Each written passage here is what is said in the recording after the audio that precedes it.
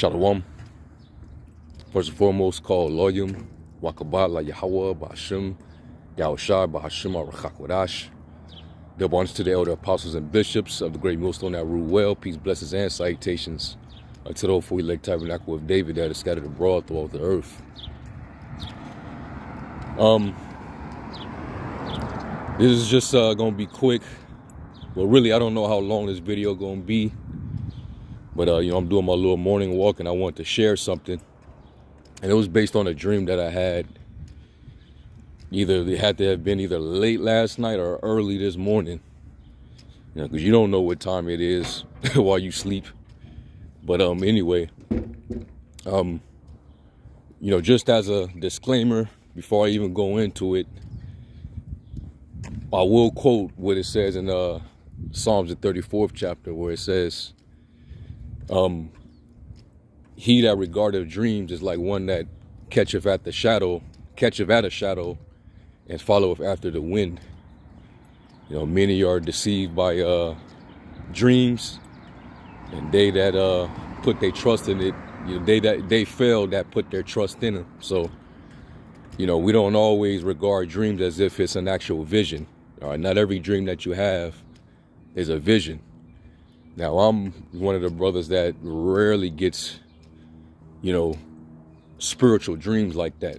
You know, normally it's some some folly, you know, violence, you know, stuff that don't really mean nothing. But there's certain things that happens in dreams that you do vividly remember you know, because they're very significant to you. Well, in this dream, the only thing I can even remember in this dream is it's broad day, and uh, it's it's some it's it's commotion going on. You know, people running, but out of nowhere, you know, I look up, and next thing you know, you seeing you see ships I'm talking about chariots, man. You know, they look like big, gigantic mansions floating above you. You know, draped up and everything. That's what I saw in my dream. Um, all I could remember was I'm seeing these ships come down and they're closer than ever. Right? You know, normally when we spot chariots, now, you know, they're still usually, you know, a distance up. You know, sometimes you might think like, man, is that a chariot or is that a star? You know, you, you just don't know. But they came down like close. Um, I think I remember seeing something come down from them and people just disintegrating just like that. I'm like, oh shit, like this, I think this is it. Then out of nowhere, this uh this chariot, you know, this one ship comes right over me. And you know I'm nervous. I don't know what's getting ready to happen. I'm praying and hoping, like, man, I hope, like, I mean, if if if, if the Lord, you know, if, if this is the Lord's will, and if I'm not one of the ones, then hey, let his will be done, man. If I gotta be zapped, then that's that then hey, you know, this is all the most high, his will. He does what he willeth. So I'm super nervous, not realizing, you know, damn, what's getting ready to happen, man. But this chariot just comes over and after I didn't seen it, this same ship zap somebody, comes over me and a holographic light and, and the light was blue it was a blue holographic light that just came from the that beamed down from the bottom of the ship you know right over me and i'm thinking i think he about to zap i think i think this this angel about to zap the shit out of me right but when, immediately when it came over me, like once I realized that I'm in, I'm in the confines of that particular light, the light is actually on me. I immediately like my my, I felt a a, um, a renewal of energy. It was like my like however I was feeling just a moment before when the light hit me, I felt completely different. You know, I don't know what that meant, but my energy just changed like like I don't know, I can't even really explain it, man.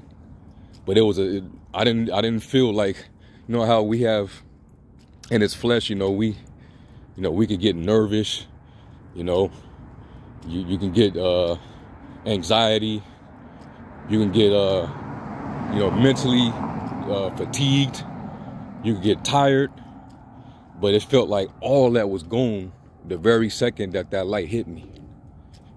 And then out of nowhere i just feel like i feel myself lifting off the ground. That's what i that, that's what i felt. I felt myself lifting off the ground i look down i see my feet is no longer on the ground and i feel like i'm i'm just i'm going up. While in under that that that uh, holographic uh, blue light, that beam,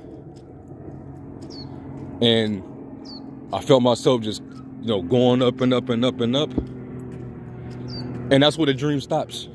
It doesn't it, like I, I I think I woke up right after, and I didn't even get to see what was going to happen. You know, once I got all the way up into the ship, I think I, I got almost to the ship, and then that's when the dream stops. Now, in no way, shape, or form am I implying that this dream was a vision and that basically, yeah, I'm, I'm going to be one of the ones that's going to be saved and go into the ship. I'm of the elect. Nah, man, we still don't know. That's why we got to be diligent, man. You know, we got to give diligence to make the calling of our election sure.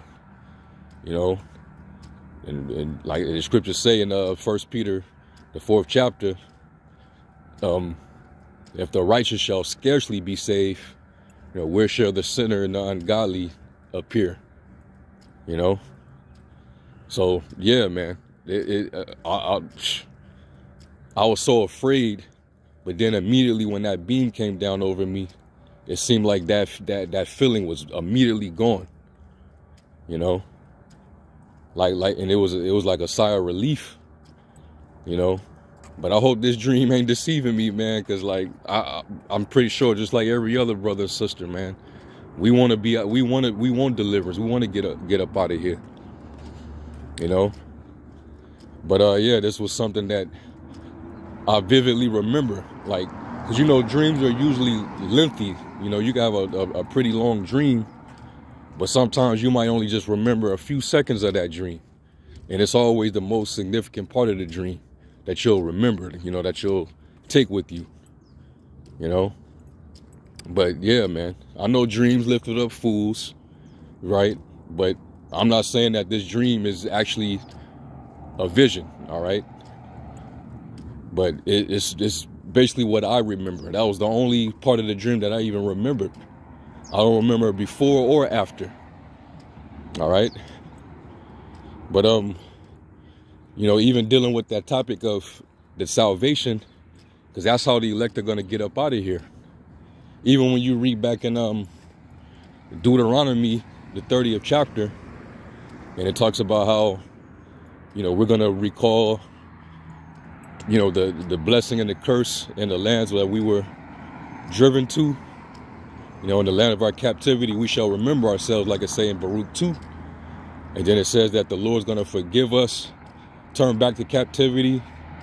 And then wherever we were driven, it says that in the places where we were uh, driven and scattered, there he should he's gonna gather. He's gonna he said, I will gather thee and I will fetch thee. You can go to that in uh, Deuteronomy the 30th uh, chapter. And um, I've did a lesson on it uh, before. When you look up that word uh, fetch or fetch thee, the Hebrew word there is uh, laquak. And when you look at the definition, it says to uh to, to catch, to seize, to lay hold, um, to take away, to be taken or or taken away, right? And that same exact word is used when describing what the Lord did with Enoch. When you read that in Genesis, the um, was it the fifth chapter? It says, and Enoch walked with the Most High power, and he was not, for the Lord had taken, had had took him. The Most High took him. That same word for uh, took is laquak. You know, so even from the beginning, the Lord pretty much describe how He's going to get us out of the land of our captivities. Like the, yeah, the other previous captivities, you know, the Lord had it to where we was able to travel and walk out, you know, from those lands because we weren't on this side of the world. Because when you go back to the one in Deuteronomy, the 30th chapter, it says, if you be driven to the utmost, all right, the, the outmost uh, part of the, uh, of the of the earth, and that's that's talking about the the extremity, all right, the the ends of the earth, which we're we're on the opposite end from where our holy land is, in, in which is in uh, Israel, Jerusalem. So, you know, we're we're we're we're currently now in the uh, the outmost part of the earth. So this is where we're going to be fetched. All right. So that means that the deliverance, the the the the the, the, the, the majority of us is going to be right here in Babylon. We're going to be delivered out of the land of the uh, the north. So all these uh, people here, they're going to be getting destroyed because it's going to be the day of the Lord's judgment. But the elect are going to be getting uh, took up. They're going to be getting beamed up so that they don't suffer that judgment you know. But um, yeah. So that's gonna that's how we're gonna get out of here. We're gonna be fetched out of here, man. We're gonna get caught caught up into that that cloud. All right. Well, all of our enemies are gonna behold us going up. Lord willing, we be those those individuals. It says that in Wisdom of Solomon 5, they shall be amazed at the strangeness of our salvation. All right. And you know, that's why they put these things in, in these commercials and these movies, because they know, you know, they know what this is. They, all, they, they know these things are recorded and, documented in the scriptures. You know, like that one uh, commercial, it was a shoe commercial. I don't know if it was a Foot Locker or some shoe brand, I forget. But in that in that same commercial, you know, it shows a Jake actually going up you know, right into a uh, a chariot, what they call a so-called UFO. You know, a light was over him, and then the, he he went up into that light and just went up slowly. You know. So yeah, man, and that, and that was spiritual for them to use, you know, to, to, to use a Jake, because that's that's all who's gonna be delivered. Ain't no Edomites going up, and if you see a beam if you see chariots hovering over Edomites and a beam comes out, you better believe it ain't gonna be the same beam that's gonna actually uh, lift you off your feet. It's gonna be a different kind of beam. It's gonna be a, a, a, a ray of light. that that's gonna that's gonna melt your shit, you know. That's what's gonna happen to Esau. He gonna he gonna get the opposite treatment. When them beams come out, they gonna get they, they getting liquidated. All right, but this but the people that's gonna go up, I think it's gonna be a different light, a different beam of light, man. I speak as a man, of course, you know. But yeah, man, it, it, when I when I woke up from, I was like, dang, man. You know, I thought about sharing it first, like you know, on, on one of the chats, but I was like, you know what? why not just actually make a video? Go, you know, do a impromptu, you know, take a walk and, and talk about it on camera and, and, you know, put it up as a lesson. Because really it's comforting to know, man. You know? Now, hey, man, we, the, the, the, the fashion in the way we get up out of here, man, that's, that's different. You know? But, uh, yeah, man. We all gonna, uh, and I thought also about, uh, what it says in Revelation, how it talks about the remnant were affrighted and they gave praise to the Most High. Yeah, we're gonna be affrighted because we, man, we're gonna go from thinking that, you know, you, you probably thinking like, oh man, am I finna get, you know, zapped to, to dust? Am I, am I finna get beaten to powder, or is the Lord getting ready to, you know, He's getting ready to take me? you ain't gonna know until that moment, that final moment, man. We ain't gonna know until that final moment. But you're gonna you're gonna go from uh, being afraid and uh, you know not sure to you know relief, joy, happiness, man. You know. And you're gonna we we definitely gonna be giving praise to Yahweh Shem Shai, man. From that moment on, man, it's just go non-stop. Like finally. You know? But yeah, man, that, that was all I remembered, you know. It was just that that that little scene. People running, lasers going off, and then this blue beam comes down directly over me, and I'll just start going up. I'm thinking I'm about to get zapped, you know. But uh, yeah, man. You know, I hope y'all find this uh edifying, comforting, and hey, you know, go and read up on the scriptures concerning the chariots and how we're gonna go up into you know the cloud, you know, because that's what it says. You know, the dead in Yahushua, Hamashiach shall be uh, risen first, and they that are alive remaining shall be joined with them in the air, in the cloud. You know, they're gonna get caught up in in in, in the air and be joined in that that big cloud, man. And that's the what you call the the the, the marriage ceremony. All right, the the the, the pure uh, virgins that were wise that trimmed their lamps. They were adorned and ready for the the the, the ceremony, the marriage ceremony with the bridegroom, which is Yahushua. You know, first time, you know, rejoined with with with, with the husband, so to speak, in, in a long time. You know. So it's, it's gonna be a beautiful thing, but it's gonna be scary at first. you know. But yeah, man. You know, Lord willing, uh, y'all brothers and your futures were edified. I'm gonna give all praise and glory and honor to y'all, Bashim Yahweh Shai. Shalom.